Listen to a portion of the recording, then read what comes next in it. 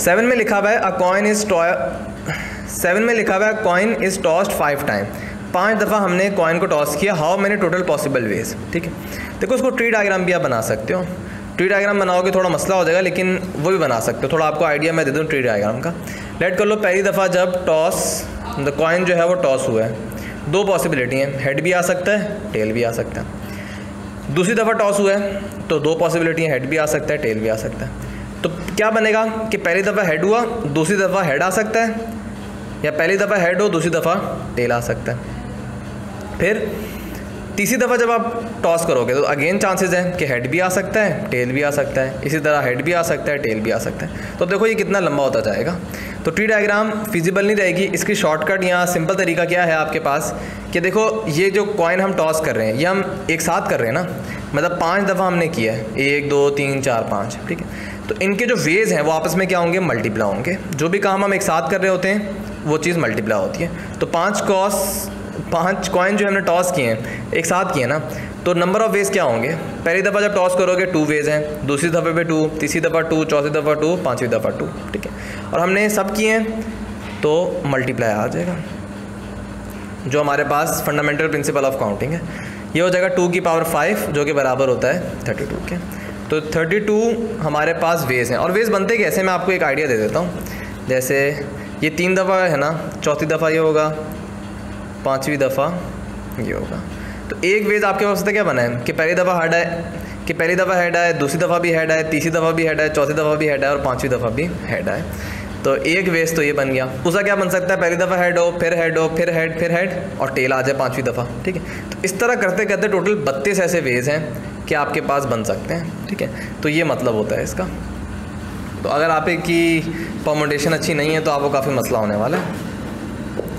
Eight में लिखा हुआ है in how many ways can six people be seated around a table देखो, अगर छः बंदों को आपने रॉ में अरेंज करना हो लेट से छः बंदे हैं one two three four five उसको अगर आपने रॉ में अरेंज करना है तो अरेंज करने के छः फैक्टोरियल तरीके होते हैं। लेकिन अगर उन्हीं छः लोगों को आपने सर्किल में अरेंज करना है तो उसके तरीके क्या होंगे? सिक्स माइनस वन फैक्टोरियल ठीक है? तो सिक्स माइनस वन क्या होगा? बेसिकली फाइव फैक्टोरियल और फाइव फैक्टोरियल होता है वन ट्वेंटी के ठीक है? नाइन में लिखा हुआ है a boy has four shirt एक बॉय है जिसके पास फोर शर्ट हैं और चार pant pants in how many ways can he dress himself ठीक है? अब देखो, वो पूछ रहे हैं कि कितने तरीके से वो अपने आप को ड्रेस कर सकते हैं। अगेन शर्ट और पैंट वो एक साथ पहनेगा ना? ऐसा तो ना कि शर्ट पहन के चला गया, पैंट पहनेगा नहीं वो। तो दोनों चीज़ें एक साथ हो रही हैं। तो जब एक साथ होते हैं तो नंबर ऑफ़ वेज क्या होते हैं आपस में? मल्टीप्लाई हो रहे हैं। तो टोटल सोलह तरीके होते हैं। और अगर आप इसको ट्री डायग्राम से समझना चाहो तो समझ सकते हो। लेट कर लो शर्ट पैंट की बात करते हैं, क्योंकि पैंट ज़रूरी है भाई।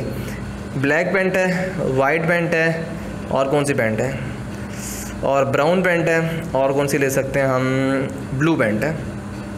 ठीक है।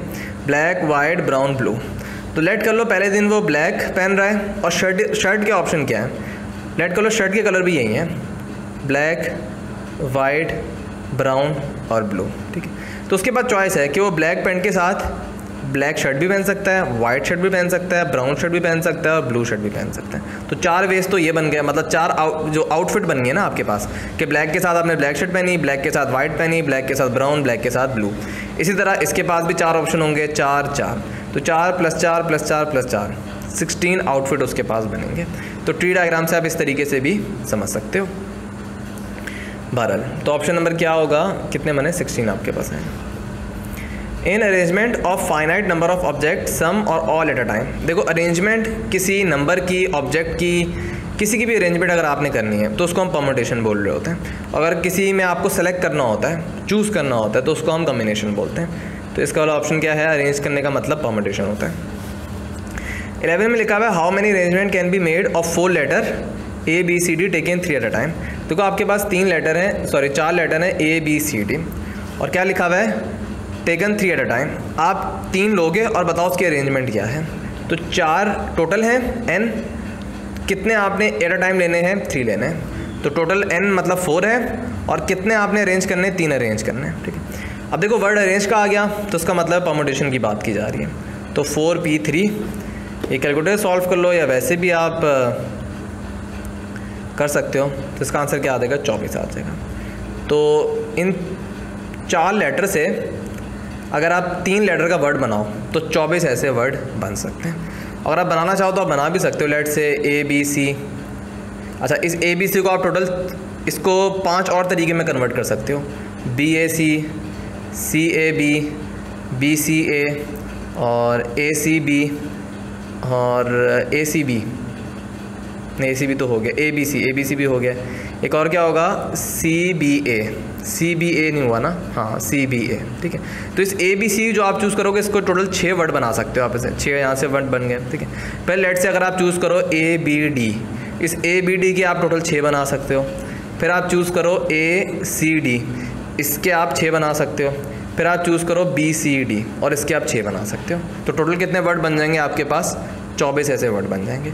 इन मुझे मौका मिला इन होगा, मौका मिलेगा। मैं चैप्टर सेवन डिटेल से अपलोड करूँगा और उसमें एक एक कॉन्सेप्ट आप लोगों को क्लियर करूँगा। अभी टाइम नहीं है, अभी पास पेपर सॉल्व करवा रहा हूँ तो उसमें तो नहीं हो सकता ये।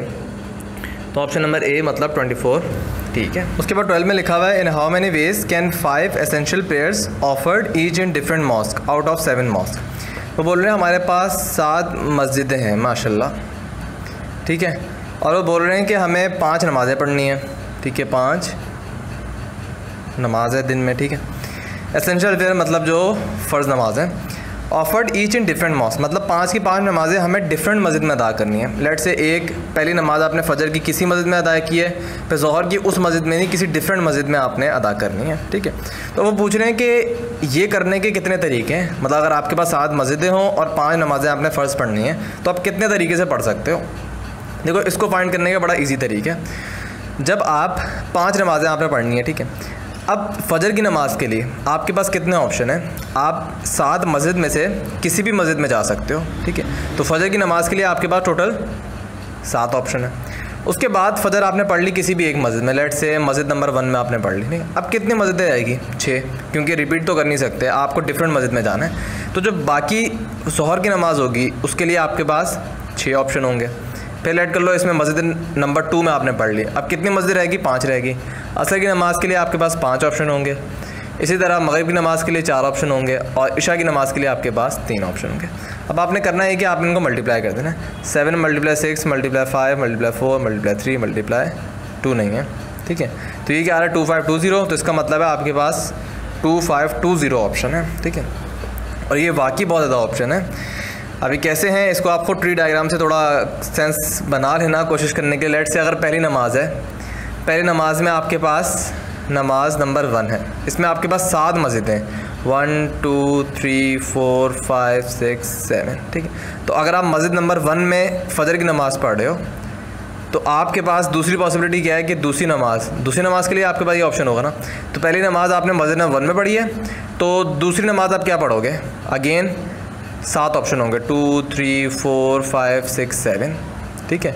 अगर पहली आपने वन में पढ़ी है तो दूसरी आप किस किसमें पढ़ सकते हो? दूसरी आप वन में भी पढ़ सकते हो, दूसरी आप टू में पढ़ सकते हो थ्री फोर फाइव किसी में पढ़ सकते हो। करते करते ट्री डायग्राम में टू फाइव टू ज़ीरो ऐसे वेज हैं कि आप पाँच नमाज़ें सात मस्जिद में अदा कर सकते हो और हर नमाज़ आप डिफरेंट मस्जिद में अदा करोगे तो ट्री डायग्राम से इसको विजुलाइज़ करना बहुत मुश्किल होगा, लेकिन मैंने बता दी किस तरीके से आप करोगे। ठीक है? उसके बाद आ जाओ आप थर्टीन पे। In how many ways can a troop of five soldier be form out of seven soldier देखो सेवन सोल्जर हैं। हमें फाइव सोल्जर का एक ट्रूप बनाना है, ठीक है? किस तरह बनाओगे?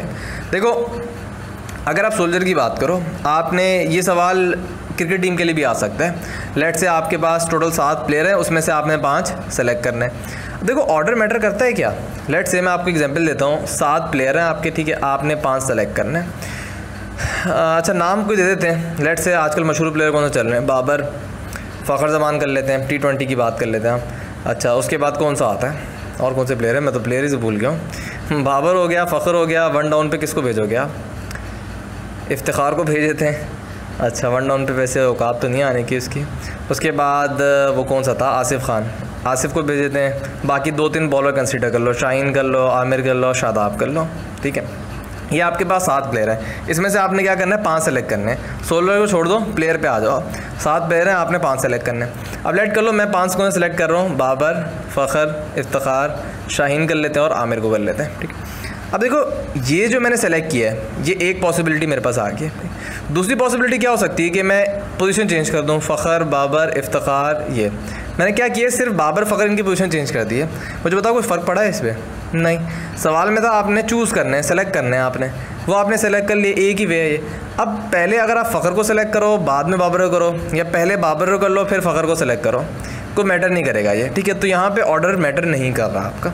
तो जहाँ ऑर्डर मैटर नहीं करता, इसका मतलब है कम्बिनेशन की बात की जा रही है। तो अब आपको समझ आई होगी, सात सोल्जर हैं, आपने पाँच सेलेक्ट करना है। तो ये क्या ऑप्शन होगा? सेवन सी फाइव होगा। पी फाइव नहीं सेवन सी फाइव आपके पास होगा। जैसे यहाँ तक यहाँ क्या था, यहाँ ऑर्डर मैटर कर रहे हैं। जैसे यहाँ पे ऑर्डर मैटर कर रहा था कि लाइट कर लो, आपने पहली नमाज़ मस्जिद नंबर वन में पढ़ी है, दूसरी मस्जिद टू में पढ़ी है। ये डिफरेंट है कि आपने पहली नमाज़ मस्जिद टू में पढ़ी है और दूसरी नमाज़ मस्जिद वन में पढ़ी है। यहाँ ऑर्डर मैटर कर रहा था। यहाँ पे नहीं ऑर्डर मैटर कर रहा। तो सेवन सी फाइव ऑप्शन क्या आ रहा है? ट्वेंटी वन तो आपके पास ट्वेंटी वन ऐसे तरीके हैं। अच्छा जी। उसके बाद आ जाओ आप फोर्टीन पे। Everybody in a room shakes hand with every जितने लोग हैं, वो शेक हैंड कर रहे हैं, ठीक है? और टोटल कितने हैंड शेक हैं? सिक्सटी सिक्स हैं। The total number of person वो बोल रहे हैं कि एक रूम है, उसमें हर कोई एक दूसरे से हाथ मिला रहा है, ठीक है? Total sixty six hand shake हुए हैं। अब बताओ कितने लोग हैं, जिन सब लोगों ने आपस में हाथ मिलाए और total sixty six hand shake हुए हैं वो? अब बताओ कितने लोग सिक्सटी सिक्स हैंड शेक करेंगे? देखो तो जब भी हैंड शेक का आपके पास सवाल है तो इसकी टेक्निक क्या होती है? एन सी टू मतलब अगर आपने मूवी भी देखी हो तो बॉलीवुड ने बनाई थी सुपर थर्टी उसमें अनंत कुमार उनके एक बहुत बड़े मतलब प्रोफेसर थे मैथ के, जिन्होंने सुपर थर्टी का मिशन स्टार्ट किया था। तो उसमें भी बीच में जो ऋतिक रोशन जो सवाल उसने किया था कि अगर तीस लोग हैं, आपस में हाथ मिलाओगे तो कितने हैंड होंगे? तो बिल्कुल वही वाला कॉन्सेप्ट है कि अगर आपके पास एन लोग हैं, ठीक है, और वो हाथ मिला रहे हैं तो उसका फॉर्मूला ये है एन सी टू ठीक है? अभी आया कहाँ से? वो मैं आप लोगों को ज़ाहिर सी बात है थ्योरी में समझाऊँगा। लेट कर लो अगर पाँच लोग हैं तो हैंड से कितने होंगे? फाइव सी टू मतलब फाइव सी टू दस, ठीक है? तो अगर पाँच लोग हैं तो कितने हैंडशेक होते हैं? दस होते हैं। अब यहाँ पर उन्होंने बोला है आपको ये एन फाइंड करना है कि ऐसे कितने लोग थे कि जिन्होंने हाथ मिलाया और कितने हैंडशेक हुए? सिक्सटी सिक्स हैंडशेक हुए। लेट को लो, इसी सवाल को अगर आप पिक करो। आपसे बोला जाए कि दस हैंडशेक हुए हैं। अब बताओ कितने लोगों ने दस हैंडशेक किए हैं? तो आप क्या बोलोगे? पाँच लोगों ने। यही सवाल यहाँ पूछा है आपसे कि सिक्सटी सिक्स हैंडशेक हुए हैं। बताओ कितने लोगों ने सिक्सटी सिक्स हैंडशेक किए होंगे? अब आपको इसको सॉल्व करना है। कम्बिनेशन में आपको पता है फॉर्मूला क्या होता है? एन फैक्टोरियल डिवाइडेड बाय यहाँ पे आर क्या टू के बराबर। Two factorial N minus two factorial equal to sixty six आ गया।